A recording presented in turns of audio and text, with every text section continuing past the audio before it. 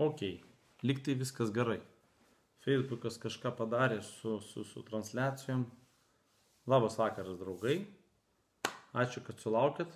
Devinta buvo, bet teko pavėluoti. Aiškintis. Gerai, junkitės. Tikiuosi praleisim kartu tokią gerą vakaro dalį. Užmygdėt vaikus. Palisėjot ir galbūt kažkam prieš mėgo, kažkam tik grįžus. Mes ką nors tokio. Žinot, šiandien noriu šiek tiek ačiū už pliusus, viskas. Maniškiai viską žinot, ką reikia daryti. Labai gerai, man tai patinka. Noriu šiandien tokių laisvų temų, nes pakankamai toks eilinį, eilinį, eilinį, eilinę dieną, kartą, daug apmąstymų ir ką toliau daryti, kur eiti, kaip aukti, kaip kilti. Ir tai yra svarbu. Mm, nusprendžiau pakeisti daug dalykų vėlgi. Ir norėsiu šiandien pakalbėti, pasidalinti, nes vis tik tai manau, kad aš, kas mane stebi ne vienus metus, manau, kad geras pavyzdys, tikiuosi, be abejo, jūs nematot tokio greito rezultato galbūt, bet palaukit dar trijų metų, palaukit dar penkių. Ir tada daugelis, kas mane stebėjo, pažįsta, susigrieps, o reikėjo eiti ir taip toliau, bet jūs jau būsit pavėlavę penkis metus.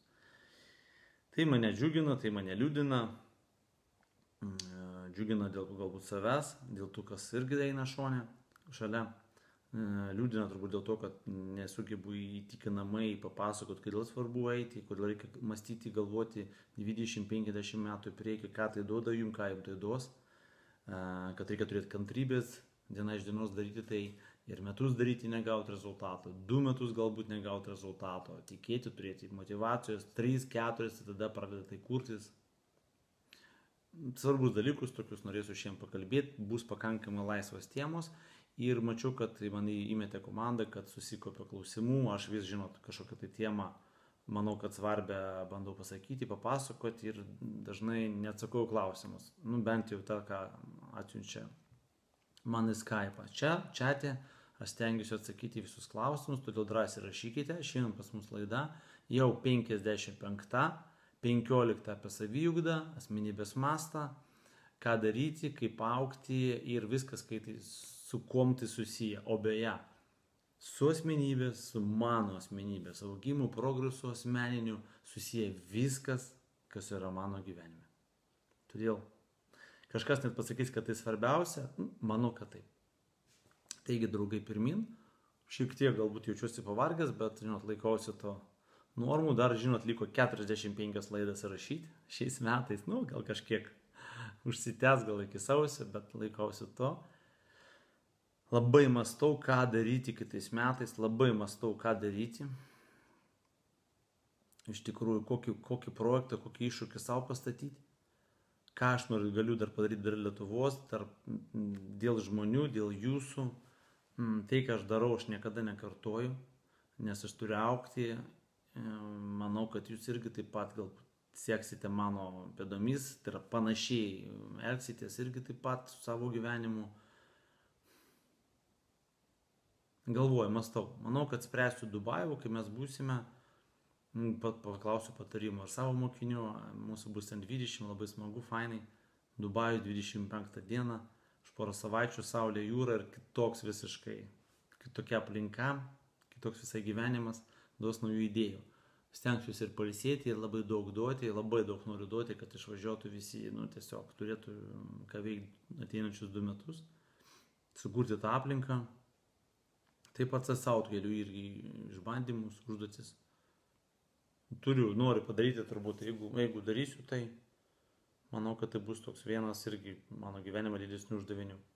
Taigi, šiandien atsakysiu klausimus, pažiūrėsim, kas iš to išeis. Žinot, kad laidos yra neparuoštos, laidos nėra išmoktas, laidos nėra skaitomos, viskas gyva ir manau, galbūt dėl to jūs esate čia, nes matot, kad viskas tikra kad nesu nebejojantis savo ten kažkokiamis lygiomis ar žiniomis, laukiu kritikos, esu atviras ir manau, kad tikrai atvira knyga. Ir manau, kad tai, ką aš darau, suteikia daugybę tų žmonių, kurie kopijuoja mane, kurie mokinusi iš manęs, sakykime, kitokių lektorių mokytojų, jiems suteikia didžiulį pranašumą, Dėl to, kad aš esu atviras ir aš pasakoju, ką aš darau, dalinuosi visiškai atvirai. Nu, nežinau, ką kiti daro, bet nesu matęs, ką daro. Tiesa, draugai, jūs man dar nesakėte, ar yra kas nors, iš ko jūs mokinatės, kur jums atsakytų kaip aš, kad galit kritikuoti mane, galit pasakyti, kad aš neteisingai, aš laukiu to ar noriu. Ar vis tik tai, jūs mane rašėte, nors vienas žmogus ar Lietuvoje, gūrų mokytas, kokią nori tik tai temą, ar tai psichologas, ar tai ten dar kažkas, santykių specialistas, ar tai kažkoks, nežinau, nesvarbu, bet kas, ar jisai taip kalba, ar jis yra atviras. Man įdomu.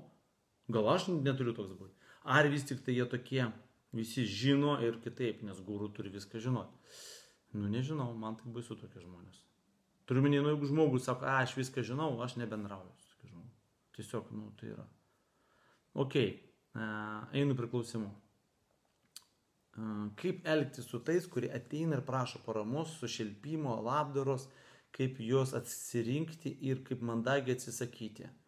E, čia turbūt prie tos temos, kai buvo, matėt, pradinė buvo laidos pavadinimas, kaip pasakyti ne. Nu tai va aš čia irgi atsakysiu, pakeičiau šiek tiek, nes viskas gyva nusprendžiau, kad tai bus klausimai atsakymai ir apie save šiek papasakosiu, apie savo planus, gal tai su jūsų motivos, gal tai nuramins jūsų širdį, kad jūs eina teisingu keliu. Kad neturi būti viskas super švaru, fainai, šviesu, gera, linksma, tada jūs savo kelyje, dėja ne. E, nes natūralu, kad visiems nepadėsi. Gal yra partinga suma ar procentas, kurį reikia tam išleisti. Labai gerai čia. E, pirmiausia, kad pasakyti ne ar pasakyti taip, Nereikia manipuliuoti savo protu ir bandyti save savo įteikti kažkokias tai taisyklės, kaip pasielgti vienoje ar kitoje situacijoje. Tai mūsų išmokino, kad vat, pirmat, yra kažkokia tai norma. O kaip turėtų elgtis? Kokią šakutę valgyti iš penkių? Mažesnė, vidurinė, su dviem, ar su trim, ar su penkiom? E, ką daryti? ne visada yra atsakymas paprastas. Labai norėtųsi išgirti. Aš ir galbūt norėčiau pasakyti, ką dabar pasakyti, kokį ten mygtuką paspausti. Dėja, gyvenimas yra kitoks. Kitoks.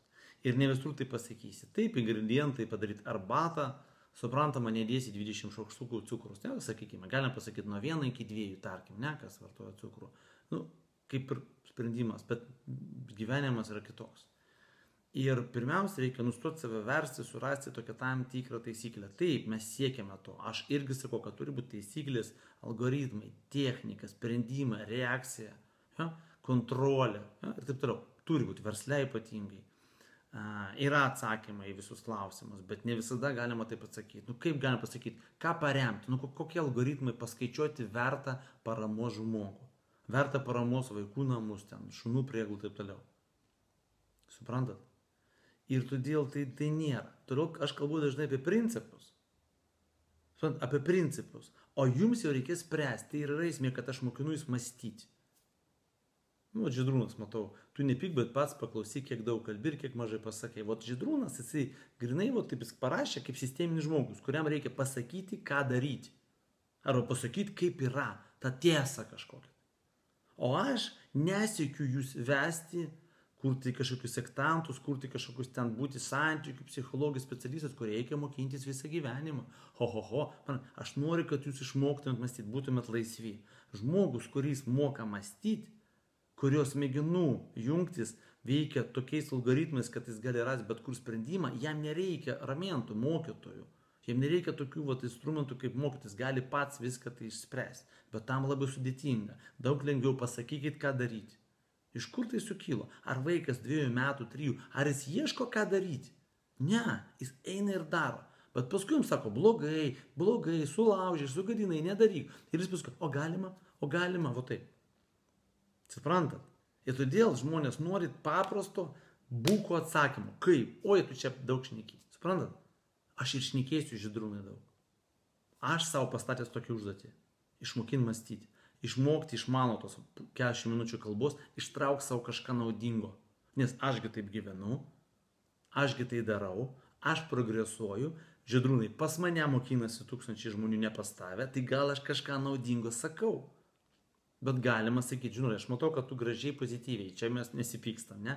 Bet žydrūnas tą, ką parašė, daug žmonių mane žiūrėdami taip galvoja. Ir už tai Žydrūnui ačiū, kad jis parašė tai, ko kiti nepasako, neparašo turiu minį, ne? Ir todėl, suprantat, aš laikausi tokio principo, mano tokios gyvenimo nuostatos sprendimai. Suprantame, kad yra daug visokių mokytojų, sakot, man nepatinka, man patinka galbūt kaip daryti, nu ir jūs einat ieškot, sakykime, savo mokytojo. Todėl apie paramą. Žinot, aš labai tokį įdomų dalyką galvoju. Aš galvoju, kodėl e, milijardieriai, o aš jau arti. Nu, aš pažįstu ten asmeniškai, pažįstamas, bendrauju ir taip toliau. Daug mažai nekaip, tai tikrai su daug didelių žmonių. Bet iki, va, tarkim, milijardieriaus, tai man tik tai šiais metais pavyko, nežinau, sakyti, susipažinti, ten susisiekti ir būti taip jau arčiau. Ką tai leidžia man? Aš be abejo neinu fotografuotis ir taip toliau, nu, aš nesuprantu tokių dalykų, bet aš žiūriu, kaip jie elgesi, kaip jie reaguoja situacijas, kokias tai asmenybės mastas, koks jų požiūris. Tai yra, nu, man tai įdomu. Aš nestatęs savo to tikslo tokio, vad, konkrečiai ten 2 milijardus įdirbti kažką, nu, pas mane kitokie tikslai. Bet principas toksai, kad aš tiesiog mokinuosi, žiūriu, man įdomu, aš noriu aukti kaip asmenybė, aš noriu progresuoti kaip asmenybė. Ir aš suprantu, kad aš galiu progresuoti žiūrėdamas į didesnius žmonės, kurie kažką pasiekė. Pas mane nėra tarakonų, kad, a, jiems čia pasisekė, jiems čia kažkur. Aš apie tai niekada negalvoju. Yra dalykų taip, kad ir pasisekė, ir žvaigždės suėjo, kaip sakant, ne, kaip reikėjo. Visokių yra dalykų, bet aš žiūriu kaip asmenybė, nes vis tik tai atlaikyti tą, jo, ar tai pinigų srautą, ar tai valdymas žmonių dešimties tūkstančių, ar tai kažkokia tai biznė atsakomybė už tai. Tai vis tik tai asmenybė mastas, suprantat. Ja? Ir aš žinokit, prie tos paramos vedu, kodėl milijardieriai pradeda užsimti labdarą ir kuo toliau, tuo daugiau jie užsima tik tai labdarą. Jie tik tai užsima savo fondo veiklą, plečia, jie verslų jau neužsima. Ne dėl to, kad pas juos stovi žmonės vadovauja, jie parduoda verslus. Pinigus perveda į fondą ir su to fondo pagalba stengiasi iš visų jėgų kiekvieną dieną, nuo kiekvieną dieną, nuo ryto iki vakaro padėti padaryti kažką dėl žmonių. Taip, aš žinau visas sąmokslo teorijas, keletą paminėsiu. Nu, reiškia, ten jie, jie bando išpirkti kaltį ir taip toliau. Uh, jie ten privogė pinigų ir taip toliau, todėl čia bando atiduoti. A, su fondais jie suka pinigus, moka mažesnius mokesčius. Aš žinau visas, ką jūs žinote ir dar dešimt kartų daugiau. Nu, ašgi viskom domiuosi, ja, susiję. Bet žinokit, aš žiūrėjau kitaip. Aš iš šito net neįsitikinu, ne, aš jau tai visiškai supratau labai giliai persmeltas, kad mes atėjome čia į žemę dėl vienos priežasties. Aukt kaip siela, aš tai supaprastinu. Nu, siela tai kažkokia asmenybė. Neaugingi pilvą, ne?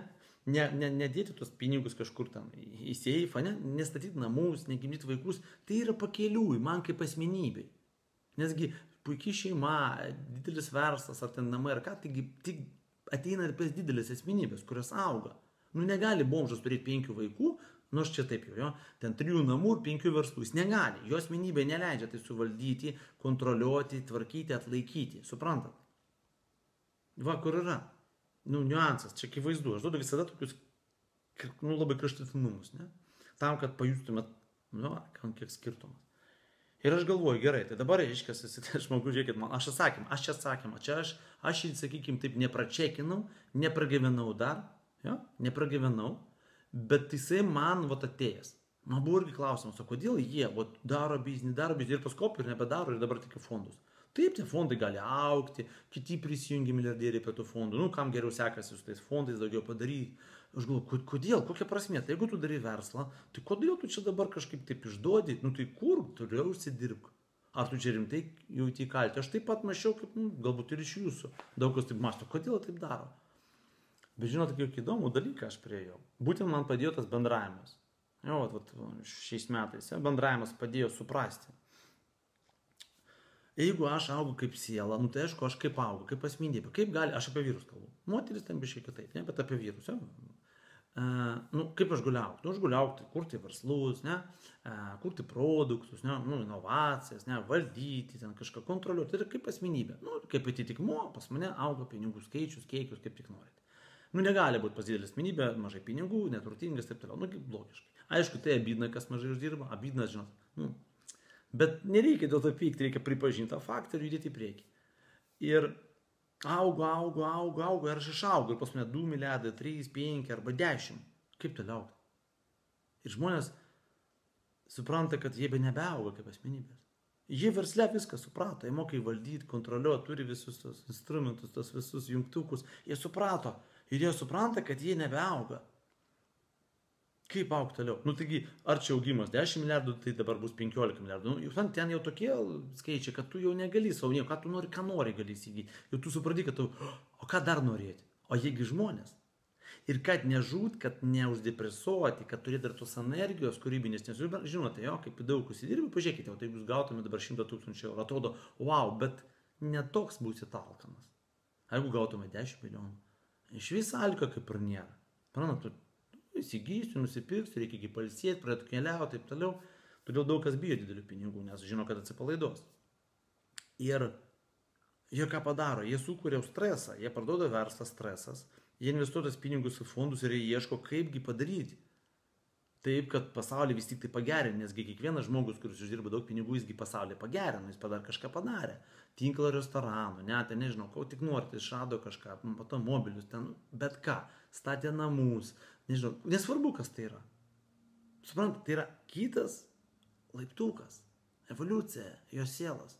Jis į toliau auga, nesgi didžiulis iššūkis, kad tave neapgautų, kad ten neperės kokių pinigų, kokio nors ten, kur tau ten išvoks Afrikoje, kokio ne, ar dar kažkur, kad visigi nori tų pinigų, pasitikėti negali. O kaip padaryti, kad tai tikrai neštų naudą, kaip sukontroliuoti, kad neštų naudą. Suprantat? Suprantat? Čia vat yra toks, toks, toks dalykas, kad aš supratau, kodėl, nes man nebuvo atsakymų. O žydrumas rašo, jų pirminis tikslas buvo milijonai, jiems daugiau niekur nebereikia. Nu gerai, aš jau atsakiau čia, žydrumai, paklausykit mane, ką aš, ką aš kalbu. Parantat, nes jie nori aukti toliau. Kiti dėl to, kitiems vėl nesuprantama, tu atidavai visus pinigus, ten vaikam nepaliks, nors turi milijardus ir taip toliau. Jie suprato prasme. Vat, vat toks pamastymas. Sakau, aš dar tą tyrinėjau, žinot, tyrinėjau, bet aš jaučiu tame. Ir aš žinau daugybę žmonių, multimilijonierių, kurie bankrutavo. Jie nežinojo, ką daryti. Tiesiog, čia kad pinigų norėjo, tai koks vyras gali nenorėti pinigų? Kas su juo negerai? Kas su juo negerai gali būti? Nes pinigai tai jo asmenybės masto, jo, dydžio rezultatas, jo naudos žmonėms rezultatas Kiek įvaizdu. Nu, čia kažkaip apie asmenybę, bet vis tik kaip bebūtų. Nu, pinigai tai ne vienintelis matas. Matas nauda žmonėms. Nauda žmonėms. Tai yra, galim matuoti žmonių skaičių ir kiekių. Den, nežinau, kaip tik norite, paskaičiuokite, kuri stebi, mokinasi, naudojasi to žmogaus išrasto ar kažką. Taip, ne visi mokėjo monetizuoti Yra daug visokių patentų, yra daug visokių nuostabių išradimų, kur žmonės manęs nemato, ar kaip, aš nežinau, rašoma.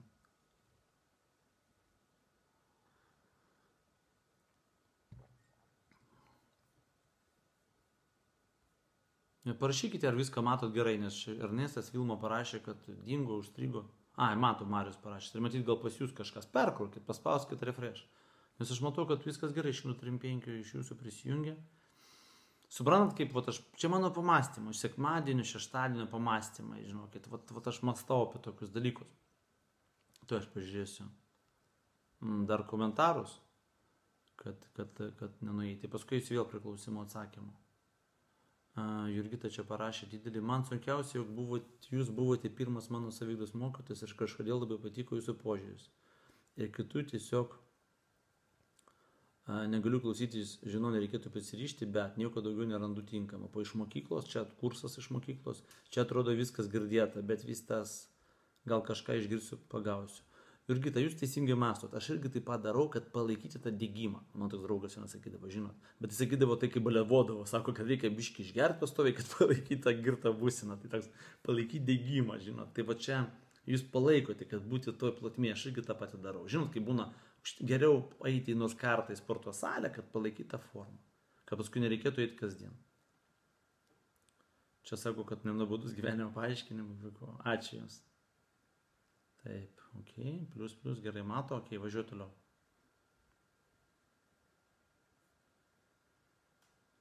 O Inga klausimą gerą uždavė, ar čia normalu, kad draugas savo visą algą atiduoda man, nes jis sako ir prašo, kad aš jo pinigus valdyčiau.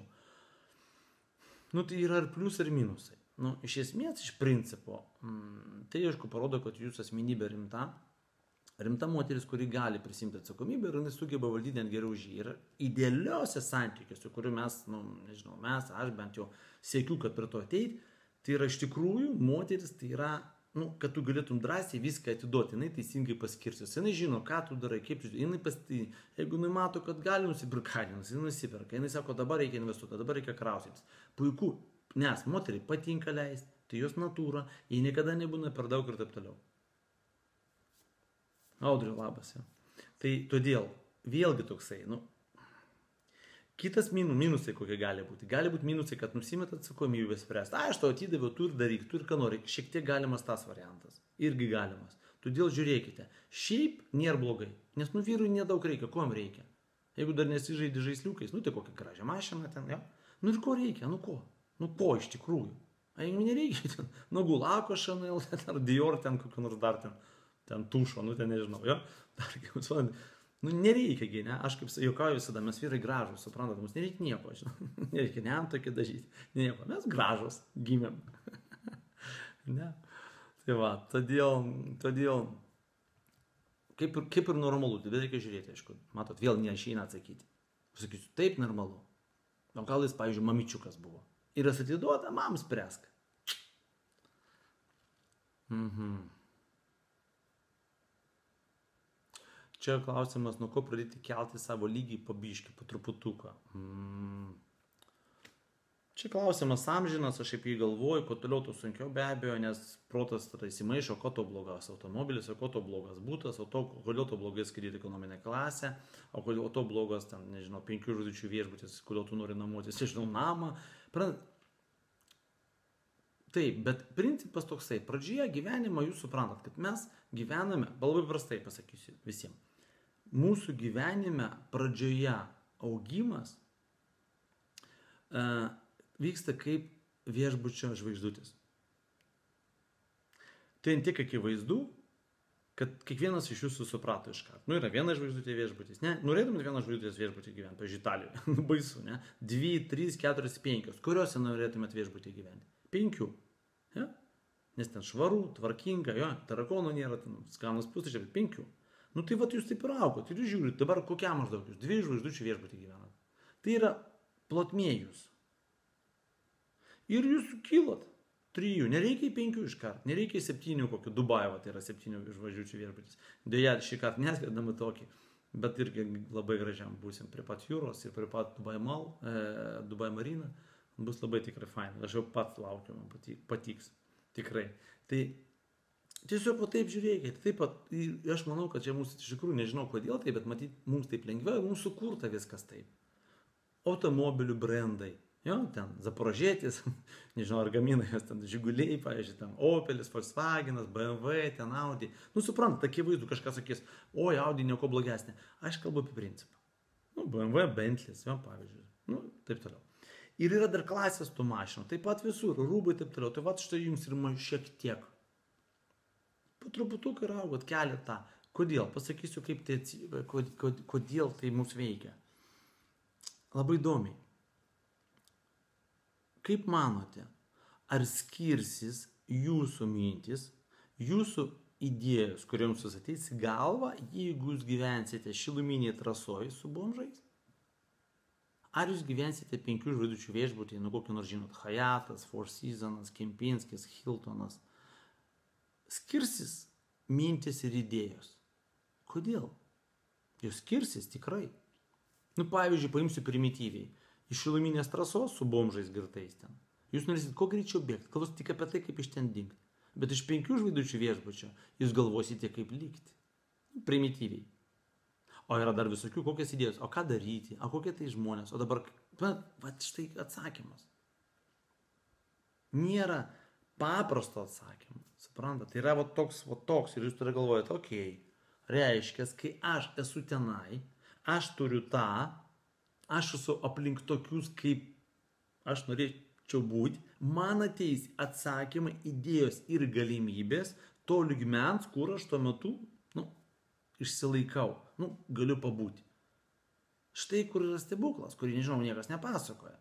Nes, numatot, labai daug papasakokit tokių tiesų, tai jūs labai greitai išauksit, perauksit visus tos gūrų, kurie jūs mokina. Nu, gūra šitaip. Man patinka šiaip. Gūrų tai yra a, naikinantis tamsą. Šiaip. Labai patinka man tas. Naikinantis tamsą, va, pažiūrėjau, su žodžiu, su tiesa, su šviesa, tai yra žiniomis. Tai vad gūrų nėra čia toks keiksmažadis ar, ar kažkoks. Ne, nu tai mokytojai, treneriai, nesvarbu. Jūs greit perauksit juos. Suprantat, todėl daugelį, ja, gal jie net nežino tokių tiesų, nežinau. Na, čia man taip labai akivaizdu. Um.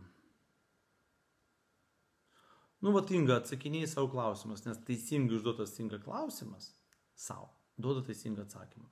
Tai yra teisingai suformuoluotas, todėl aš iš mokyklos kursę būtent mokinu, jo, mokinu, kaip teisingai uždėti savo klausimus ir kitiems be abejo. Tai labai svarbu.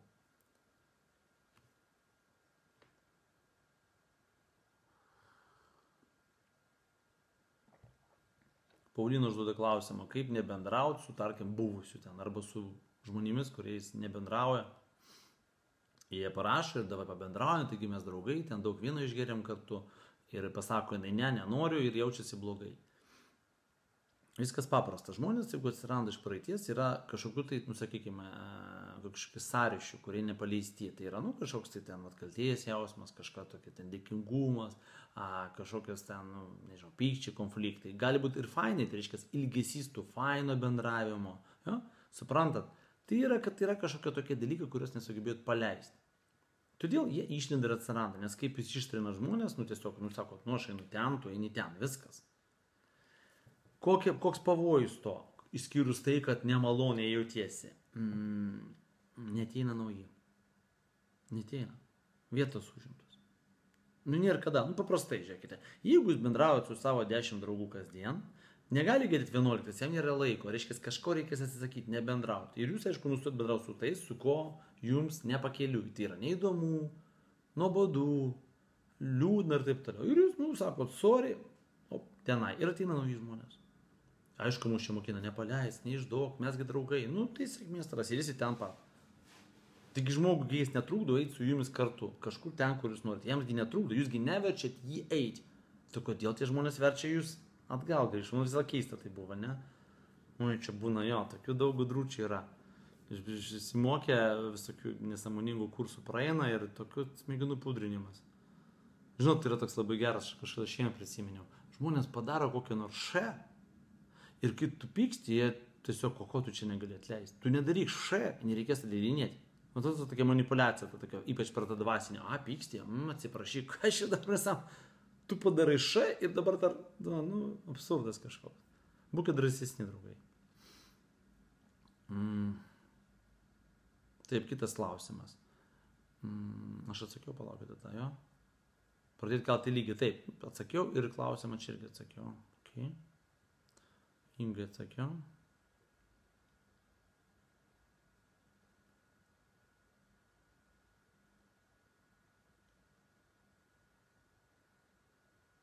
Taip, e, aš pirminybę teikiu Facebook'u be abejo, paskui Skype, kas turi klausimų. E, Dalius e, klausė, sveiki. Gal galima vieną kitą pavyzdį apie šių dienų perspektyves profesijas amatus? Noriu kažką naujo išmokti.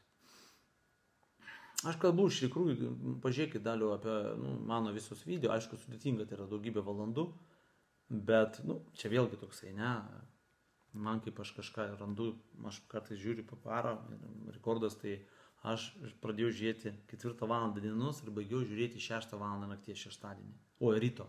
Tai reiškia visą, aš padariau 185 video, ten tokius trumpus, tokius, nu, man užkabino temą apie mytybą. Ir aš matau, kad grojaraštis yra. Ir aš ten Nu, tiesiog, vat, aš noriu taip viską suvirškinti, žinot, aš netiduodu savo po biški, po truputuką. Aišku, tai negali daryti kas naktį, bet čia mm, įvairūs yra dalykai, jeigu jūs labai norit, galit.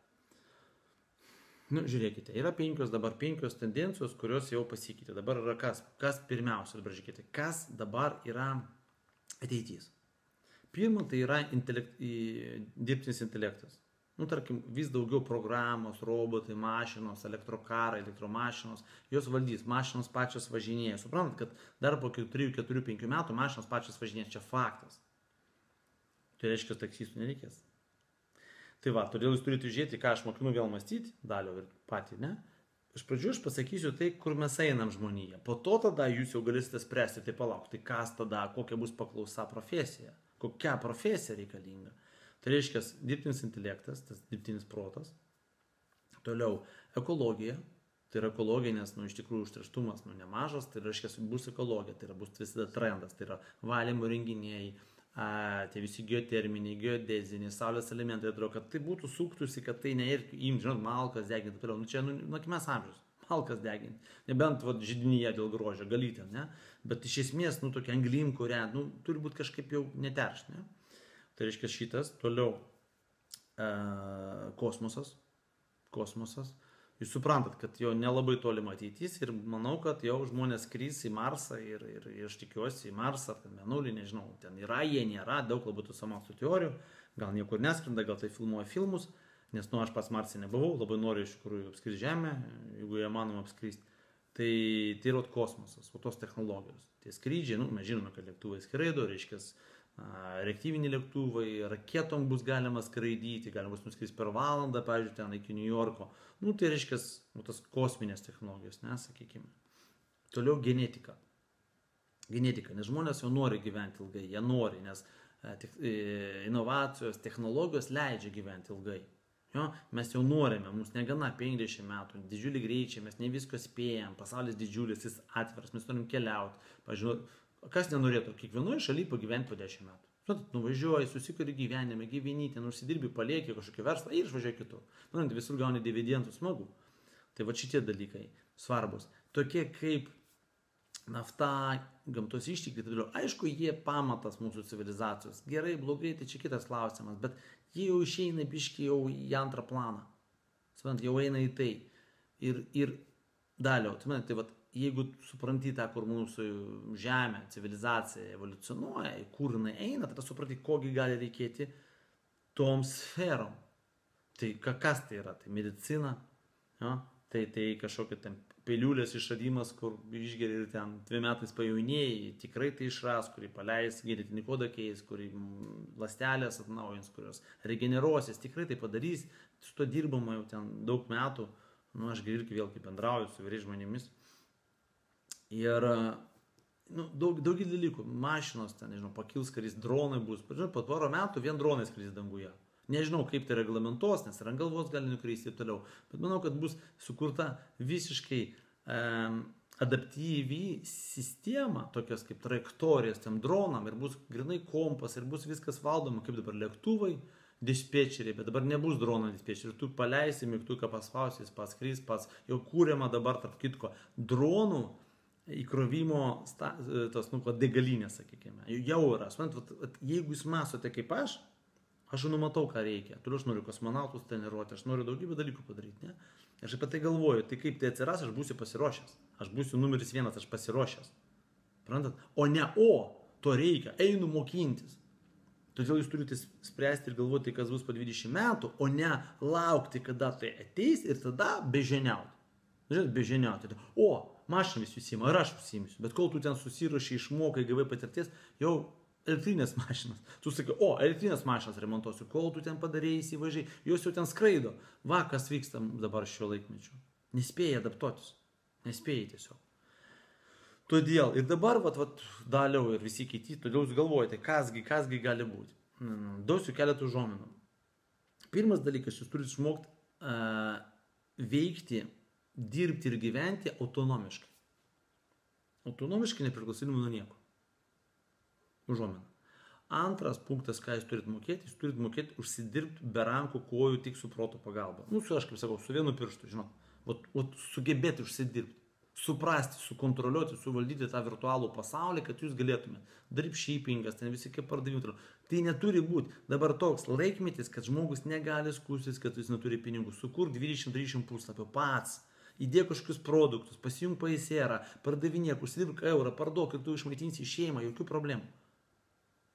Čia yra, nu, žinok, aš jeigu žiūrėčiau tik į pinigus, aš tikrai manau, kad labai greit, labai daug užsidirbčiau, bet aš matau biškai kitokius tikslus turiu. Daug, daug toliau, toliau žiūriu, todėl daug sunkiau dabar gyventi, bet bus daug linksmiau kažkada.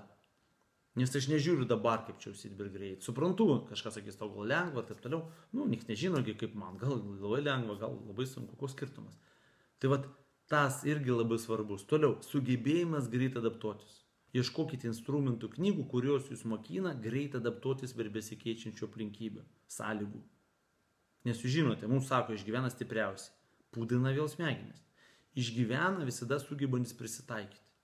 Ir va tas sokinys, botanikas, žinai, jis išgyvens, jis moka auginti ten kokio nors, ne, daržovės, moka ką, o kažkoks ten bandyti susispartavęs, ką jis galvoja, pridaužysi snukį ir augins, nu ir ką tu pridaužysi.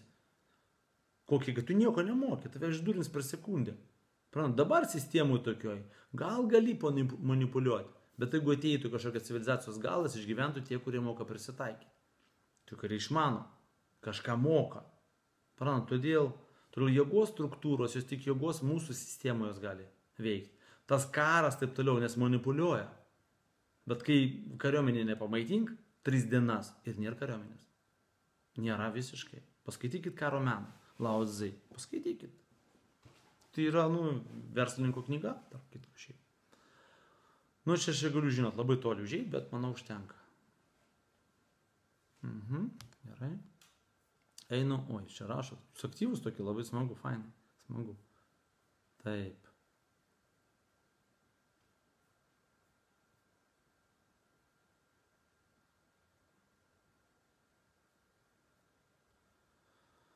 E, Tomas klausia, ar realu, kad jeigu nėra pinigų, ilgą laiką darant tai, kas patinka, jaučiamas stiprus nepasitenkinimas. Ar kai darai, kas patinka, pinigų turi nesinorėti.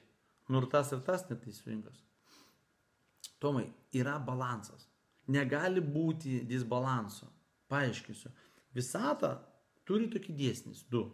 Vienas pagrindinių. Pusiausvyrą ir balansas. Tai yra vienas kitoks balansuoja. Ne? Jeigu tu myli darbą savo, tu negali neužsidirbti pinigų. Tai nerealu būtų, kad tu myli ir tu kenti, tipo nereikia. Tu gali blokuoti, tu gali atsisakyti kažkokiu tai mokintis, nemoki valdyti tai, nemoki sukurti e, verslą, verslo modelį, tos instrumentus, kontrolę ir taip toliau, tu gali tiesiog nemokėti. Ir todėl atrodo, kad aš myliu, man patinka, bet nėra pinigų. Tai ką dabar tada? Mylimas darbas, nu, vat, hobis tas, ne? Kaip sako, dirbu darbą, bet turiu hobį. Ir protingi žmonės sako, padaryk iš hobio darbą, veiklą. Ir tu turėsi mylimą veiklą ir dar pinigų. Todėl neteisingai, kad ir ta ir ta pusė. Čia tiesiog nes, nesuvedi teisingai visą tai, kad iš mylimos veiklos susidirbtum. Tam reikia laiko ir taip toliau, tam reikia instrumentų, tam reikia pagalbos. Aš dabar, man atrodo, Tomas net į, man atrodo, verslas ABC, ne? Tai vad praeik, pamatysi, kaip to viskas išaiškės. Ir jokių briedų, kad, suprantate, jeigu darai, kas patinka, pinigų turi nesunorėti, kaip suprasti? Nu žiūrėkite, jeigu aš tikiu, kad tai, ką aš darau, padeda jums, man patinka, tai jeigu man aš kuo daugiau jums padėsiu, kuo daugiau pamatys tai, ką aš kalbu, tai ar aš būsiu laimingesnis? Būsiu. Tai jeigu aš laimingesnis, aš turėčiau kuo daugiau tai nuskleis, sakykime, ne? Bet tam, kad skleis, aš turiu turėti pinigų, kad tu galėtum turėti galimybę dabar sėdėti, o ne eiti mėgoti, nes rytoj keltis šeštą ryto į darbą, reikia sunkiai dirbti. Aš turiu tam turėti pinigų, padovanoti jums knygas, ten tai turbūt 20 tūkstančių išdavanosim, ne, PDF. -o. Nu, kas padavanoja tiek? Lietuvoje, pavyzdžiui, niekas. Įrašyti laidų ten, da, va taip. Taigi čia laikas, čiagi visas žinios, aš einu, mokinuosi, o dabar vėl manau, kad įsigysiu kursą, praeisiu, mane sudomino, pažiūrėsim, toks, va, noriu labai mokintis, išėti kitą lygį. Tai todėl tai yra susiję dalykai, o ne skirtingi.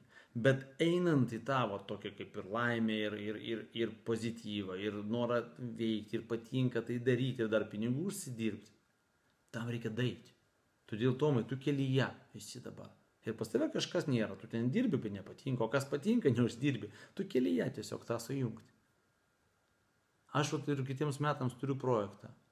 Tokį aš noriu padaryti, mes šiais metais padarėm.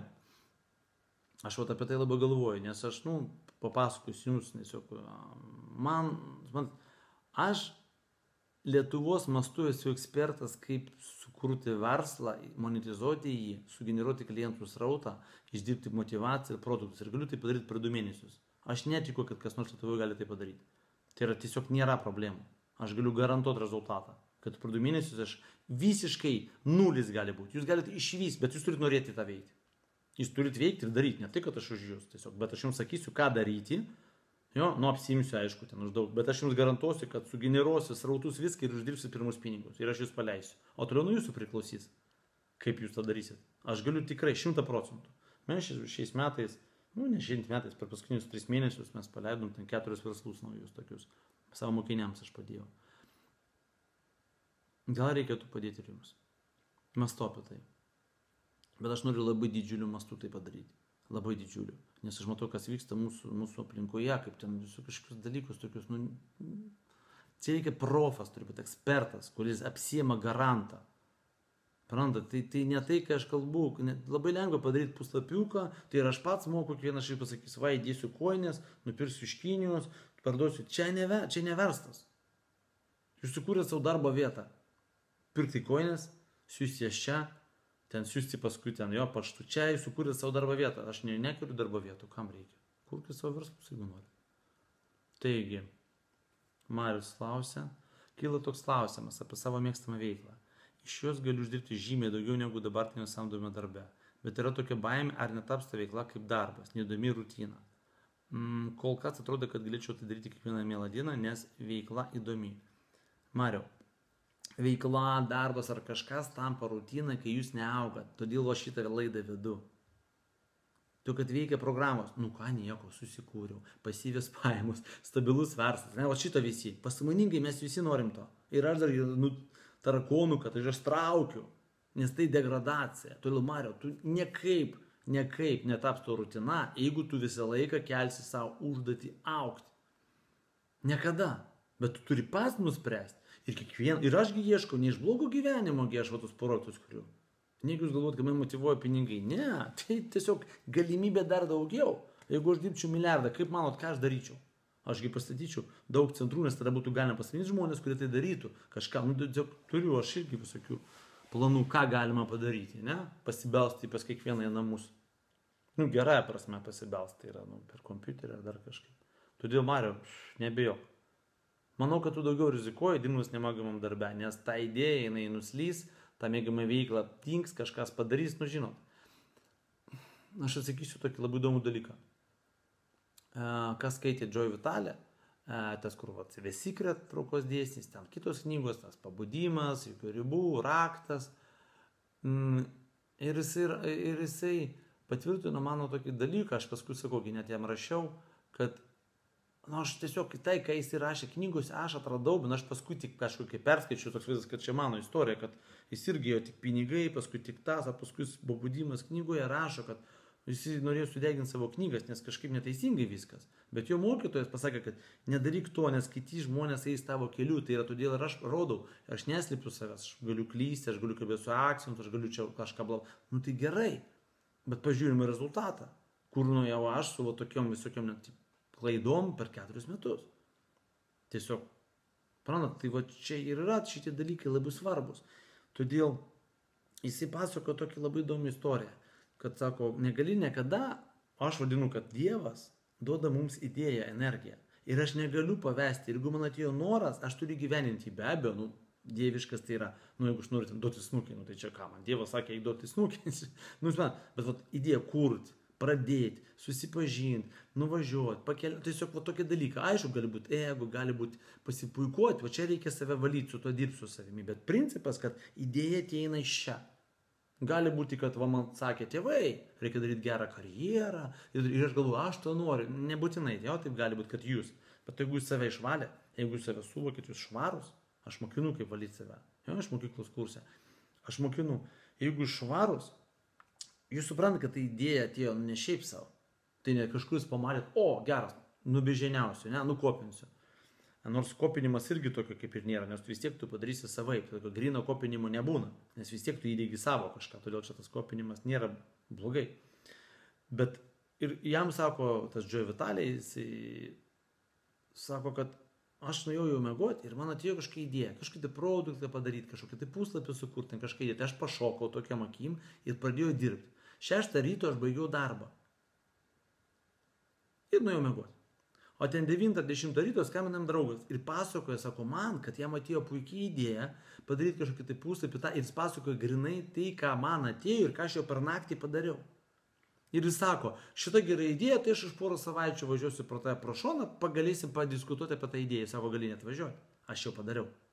Ir sako, po to įvykio aš supratau, kad Dievas, kažkokia jėga, siunčia reikalingą jam idėją, inovaciją, išradimą, revoliuciją, kažką tokio, nu gero, aišku, be abejo. Daugelį žmonių, kaip lietus. Jūs suprantat, lietusgi negaili niekam vandens, jis bėga, laža ant visų. Taip pat ten šviesa, žinios, meilė, Dievo, kaip visi mėgsta, ant visų, ne ant ypatingų. O ant tų, kurie tai atviri ir laukia, priima. Turiu milijardieriai, kodėl jie milijardieriai, nes jie priima, sako, gerai, milijardas, du paimsiu. Kas paimtų iš jūsų milijardą taip laisvai? O, o, o, šokas, ne? Tai va, o ten, okei, okay. o tik vienas, nu, okei, okay, ačiū. Pranda, tai ir yra va, atvirumas toksai, kad nelietsargis, ne, nestogelis, o taip, duok. Ir todėl, sako, aš nuo to supratau, kad negalima atsisakyti jokio savo noro, nes Dievas panaudos kitą žmogų. Nusakyk, pavoks idėją. Žinau, tai yra tokia dalyka. Aš galvoju, svajojau, kitas padarė, pavogė idėją. Nepavogė. Ta idėja ateina visiems. O kas pirmas, tas pirmas. Aš tikras, kad tai vyksta. Šimta procentų. Aš kadangi pradėjau tai stebėti, pamačiau. O stebėti aš turiu. Matot, per mano gyvenimą tūkstančiai žmonių praeina. Likimai, jo, visą aš tą matau. Man lengva tai, nu, analizuoti.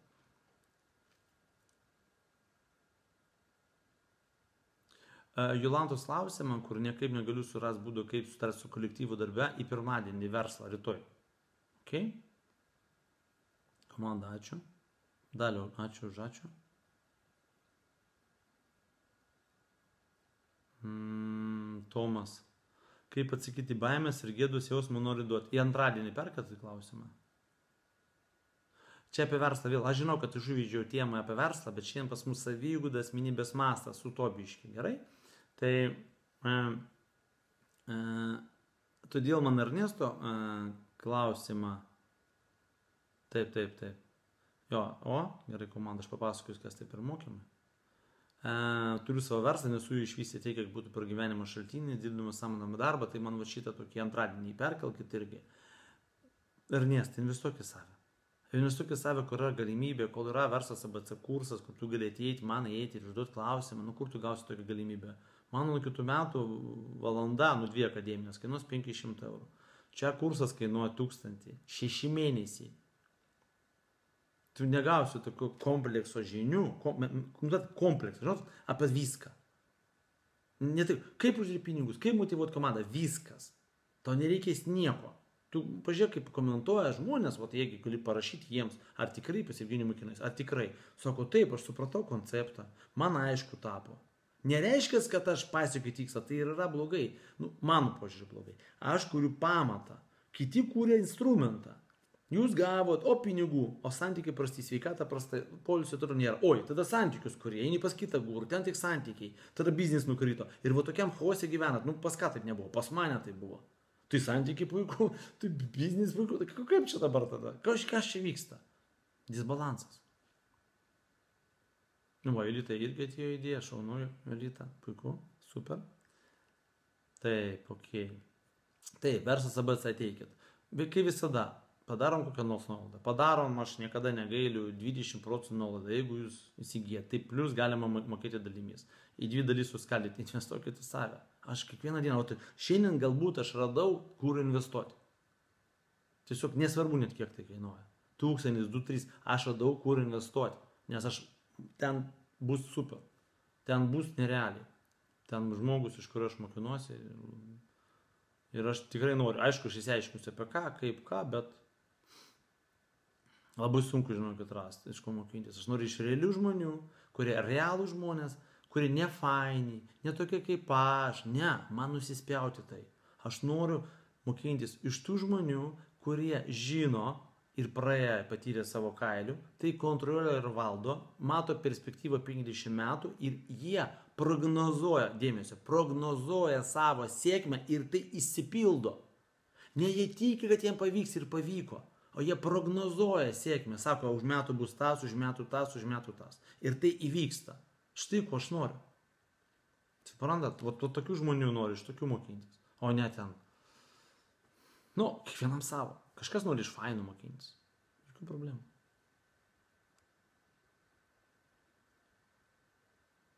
Ernesta gal reikia, Ernestai, papasakok į Facebooką, Messengerį, kokia tavo verslo idėja, koks pas tai kapitalas, ką gal žiūrėsim, galėsim padėti. Aš labai aršiem, alkaniem, ne už dyką, bet pigiai kai Lietuvai, tikrai pigiai padarau, tiesiog nu, bom, bombą padarau.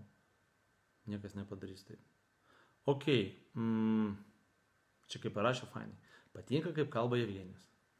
Gal ką kalba, nes kalbu aš tikriausiai neipatingai. Ai, mokymų emocijų rinkinys. Čia jums mokymas tiems, kas bijo pradėti, nepasitikė, nežino ar pavyks, dvėjoja, abejoja. 8 valandos 40 minučių. Viskas kaip sutvarkyti savo emocijas. Visio, nebeliks baimės, nebeliks nepasitikėjimo, bus aiškus, blaivus protas. Jūs to norite, investuokit. Ten viskas išrinkta, atrinkta, išdirbta, patikėkit, ant tūkstančių žmonių pabandyti, ant tūkstančių, čia jūs ne antras įsigysit, suprantat. Ok, važiuojam toliau, gerai. O, jau čia virš, ai ne, pavėlavau, tai čia apie valandą ir bus. Uh.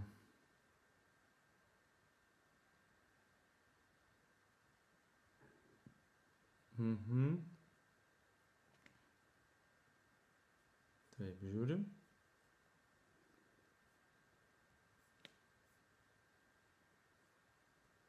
Taip, taip, taip.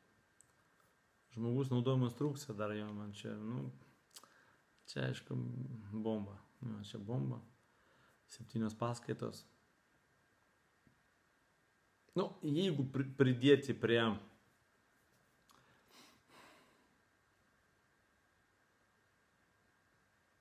A, nu tai vat. Mm, Tomas vat uždavė temą. Tomai, tau reikia emocijų valdymo, tau reikia viršui, ne verslo, bet sakyta, vat, jeigu suvaldyti chaosą savyje, tai reikia praeiti mano kursą. Aš mokinu, kaip suvaldyti chaosą savyje. Kaip sutvarkyti savo emocijom. Žinokit, tai aš sakau, yra du dalykai. Kitais metais aš kursiu dar vieną kursą, kuris irgi susijęs su mūsų gyvenimo laimė, sėkmė, bet yra du dalykai, ką aš sukūręs, tai yra pamatas. Tai yra verslas, tai yra, nu, nebūtinai tai verslas, kad verslininkas. Tai yra darbas, komunikacija, mokėjimas uždirbti pinigus, išeiti į kitą lygį, pralaužyti finansinės lubas. Tai, kas susijęs su vat, realizacija, re, realia, ne? Realia realizacija. Ir kitas tai yra emocijos, tai yra pasaulis, jo? tai yra komunikacija žmonėmis, su savimi, supratimas, savo talentai, sugebėjimai, kaip jūs išryškinti. Tai yra du dalykai. Jeigu žmogus neturi abejonių, jis stiprus, tvirtas, jam reikia eiti į verslo BC. Čia aš tai baziškai, aš tų mokymų turiu 50, ne? Tai yra tokie patys stipriausi kursai, kurie tikrai transformaciją padarys. Jeigu žmogus abejoja, nėra prasmės eiti į verslą, bet aš sakau, jūs net siūlytis galite, bet aš patarsiu, kad neeikit. Aš gal noriu parduoti, ne, už pinigus, bet kam, jeigu jūs dvėjojat? Jeigu jūs neįsimsit vis tiek naudoti tų instrumentai, ašgi noriu realiai jums padėti, o ne parduoti ir ten, ai, pats kaltas. Ne, aš noriu prisimti atsakomybę. Ir jeigu jūs sakot, nu taip, man gal, jeigu jūs tikitės, kad rasit lengvų instrumentų, dėl to, kad dvėjojate, tingite, eikite į kursą apie emocijas. Tomai ir visi kiti. Įsigykit, gera nuolaida, įsigykit, naudokitės, investuokit į save, Dieve mano. Jeigu jūs nepraėjote, eikit. Uh, toliau. Okay. Uh, Julita, atsakysiu trumpas klausimas geras. o ką daryti, kai norisi greito rezultato? Gauti. Nu, argi, nu, žinot, man labai keisti žmonės, kurie sakau, tu gali tą, tą, tą. Oi ne, man reikia pasiruošti, man, žinai, reikia. Tugi gali, žinau, kad galiu, bet jie nori procesą, žinot, va tokį smaguriauti, kaifuoti, jie, jie, va to taip. Aš manau, jeigu tu nori rezultato, nu, nu kas atsisakys, dabar jūs norite uždirbti po 15 metų milijoną ar rytoj. Nu būtų absurdas sakyti, ne po 15, nu absurdas. Tai jeigu norisi gero rezultato, tai puiku. Reiškia, tarp jūsų, Jolita, ir tarp rezultato nėra blokų. Nėra nieko, kas trukdo pasiekti. Nu, tai aš, pavyzdžiui, noriu padėti žmonėms ir man pasakės, nori paskaityti paskaitą 20 tūkstančių žmonių. Oi, ne, man reikia tūkstančių paskaityti, paskui dvi. Ne, aš noriu rytoj. Pas ne nėra blokų. Aš noriu rytoj 20 tūkstančių. Aš suprantu, gyvenimas man duoda tai, ką aš nusipelnau. Gal reikėtų iš kur pasisiūlyti, kur nors paskaityti, bet, nu, nežinau, bet principą suprantat. Julita, sveikinu. Rytoj norit jo, puiku. Kažkas gausit rytoj. trumpinat kelią maksimaliai, nereikia jokių blaukų ten ir taip toliau. Bet čia viskas gerai. Bent aš jau taip suprantu. Man tik taip. Taip, mhm, jo. E, ne. Virginijų, įmėtė mane į tą grupę. Čia ne motivacija. Ten įmesk į mm, Tomo pirmadienis, Ernesto antradienis. Taip, dar kartą. Nu, čia taip matot, padrikai, žinot, bet nu, paprastai. Liaudiškai, ne, kaip sako. Mhm. Ką pirmiausia, kaip asmenybė reiktų pradėti ugdyti? Mm. Geras klausimas, geras. Turite energijos laiko dar? Kažkaip taip, žinokit, su jumis pabendraudamas atsigavau, žinot, galvoju taip. Galiu šiek tiek ir ilgiau. Tik man reikia telefoną stebėti, sakau, mano telefonas ten remonte ar draudime ar kažkur ten. Ir aš turiu kažkokią tai pakeitinį. Tai jame mažai vietos įrašyti, nežinau, tai išdy kokybė. Tai aš neskaitau YouTube įkelti geresnės kokybės rašinėsiu telefoną.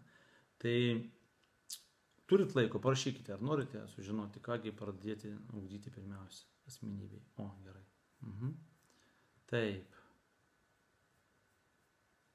Aš atsakysiu kitą. Mm, pas ką ugdotės, nuo ko pradėjote pirmas žingsnis? Ingrida klausia, nuo ko pradėjau. Nu, šiaip nedaug dievė, kam nors praeiti tą, ką aš praėjau. Aš pradėjau nuo, kadangi aš buvau, nu, kaip kaunietis, grinas materialistas, Dievo nėra, nieko nėra, nu iš tos koncepcijos, kaip mes įsivaizduojam, religinės tokios, ten jokių bažnyčių nieko be abejo, a, aplinka tai yra tik būsi, turėsi pinigų, būsi laimingas. Nu, 28 metus tai nepavyko, turim būti laimingų, pinigų kaip ir, nu, viskas ok. Ir po to, reiškia, aš pasinėriu, kad subalansuoti, kas yra problema, kodėl aš mokinu, reikia kalbėti ir apie dvasingumą, ir apie pinigus. Kitiems daug iš jūsų patinka. Sakot, kad adekvačiai kalbė apie viską, priimi viską, nes aš tą praėjau. Ir aš panėriu visus tos kastanėdo, šo, praeitį gyvenimą, ten meditacijos, ten visokias proto išėjimo ir taip toliau. Tam, kad, nu, tiesiog su galva. Tai va to keliu ir geriau nereikia. Ką aš siūlyčiau? Aš siūlyčiau pirmiausia, tai yra pas ką augdyti ir jo ir taip toliau, tai yra čia turbūt susijęs su to klausimu, asmenybę reikėtų pradėti ugdyti ir Lukutis, kur uždavė. Tai yra nu, bendro supratimo, kas yra žmogus ir kam jis čia yra žemėje. Ir tada ieškoti tų žinių, knygų, mokytojų, kurie, nu, tai paaiškina. Tai bus sudėtinga, nes kitas sakys, nu, iš čia atėjęs, o tas zen budizmas, nu, nieko tu atėjai čia pasiruošk kitam gyvenimui. Mm, krikščionybė tai gimė nuodėmėjai ir čia kentiek, nes, nu, nusidėjai, ne? a, ten kiti, kiti, kiti. Tai va dabar kokia koncepcija? Kokia? Aš siūlau visą. Tai yra ieškoti adekvataus žmogaus, kuris gyvena tai, kaip jūs norit gyventi ir jisai mokina dar žmonės. Suprantate, koks įdomus dalykas? Nes, nu žiūrėkite, dabar aš kaip pakeičiau jūsų iškart um, mokytojų sąrašą. Nu žiūrėkite, aš per vieną frazę pakeisiu. Jūs turit mokintis pas tos žmonės, kurie atrodo elgesi ir gyvena taip, kaip jūs norėtumėt gyventi. Ops. Ir dabar pusė tų mokytojų, iš kuris klauso, žiūrit, nu Lietuvos rinka ar ten Rusijos, jums nebetinka. Iš karto. Jie netinka, nes jūs nenorit būti panašus į juos, jūs nenorit gyventi, kaip jie gyvena. Tai kokio jūs, kaip sakant, mokinatės pas juos? Aš nesakau, kad jūs turit būti dublis, kad jūs turite būti tokie patys, bet jums įdomiai taip. Tai jeigu jums, pavyzdžiui, imponuoju, aš taip, sakykime, keliauju, skraidau, keliu savo iššūkius, va toks va atviras, va pasakoju viską, ne? Ir, ir, ir pasigūdžiu, papasakoju problemas, ir užduodu klausimus, sakau, ko nežinau. Jeigu jūs taip ponuoja, ką aš darau, kur aš einu, kuriu, nereikia kopijuoti mane, bet pats toks, va, kaip žmogus, kaip, o, norėčiau visai būti Evgenijum, visai fainai. Tai tada arčiau, tai priimtinas tai gyvenimo požiūris, jo, visas tai. Bet jeigu žiūrit kažkokį tai susiraukusi dėdulį, kuris kleidžia tiesą, bet jūs nenorit būti, jūs būsite tokie, tokie. Tai yra problema. Čia yra pirminis dalykas, ką aš rekomenduoju. Kiekvieno kelio savas. Aš moku atsirinkti segmentus žinių. Galiu. Galiu. Nenoriu kaip tas žmogus gyventi, bet aš matau, ką jis įduoda, kokį jis turi potekstę tame, kokį jis tikslą siekia, kur dažnai būna nesuvokia net. Aš galiu išsiimti kažką. Bet tai labai sudėtinga. Suprantat?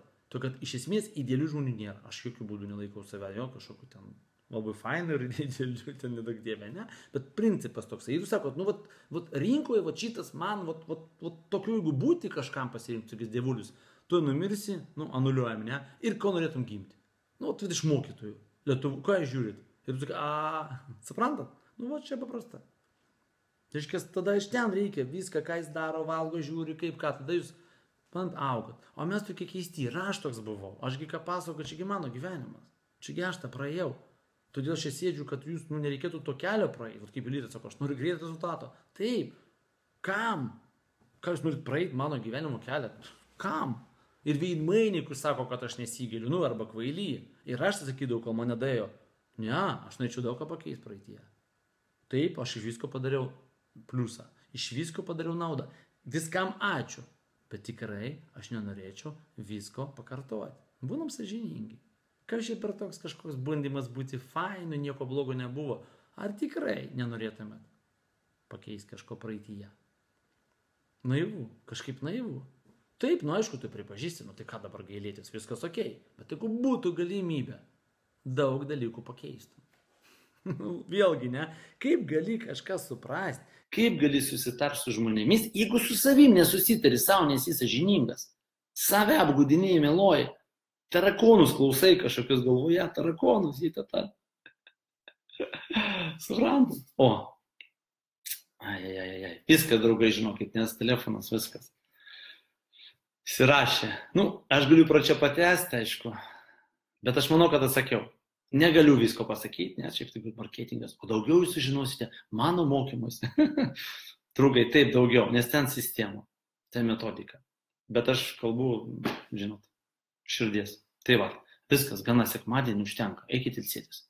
Klausimus perkelkite kitą, kitą laidą, rytoj bus pas mus verslas, poryt verslas naujai, nu, dėl, jaunimui. Užsivinkit klausimus, mokinkitės, naudokitės nuolaidą, naudokitės tom komandai, įdėkite dar kartą emocijas, verslas ABC, naudokitės, investuokite save, patikėkite, pati geriausia investicija.